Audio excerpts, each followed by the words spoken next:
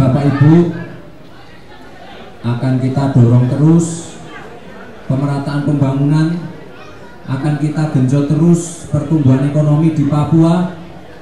Jadi saya tidak ingin ada Bapak Ibu yang datang hari ini merasa Papua itu ditinggal. Tidak Papua tidak boleh ditinggal. Papua harus ikut dibangun.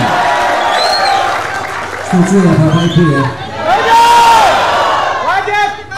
jadi kami juga mohon terutama para ibu-ibu, mama-mama, saya mohon nanti juga ikut mengawal program makan siang gratis untuk untuk adik-adik kita, untuk anak-anak kita.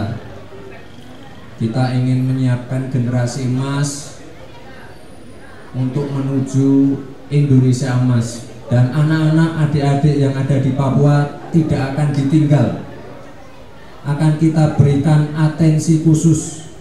Akan kita berikan perhatian khusus. Jangan ada lagi anak-anak yang kelaparan stunting. Akan kita perhatikan. Jadi saya mohon Bapak Ibu untuk ikut mengawal program ini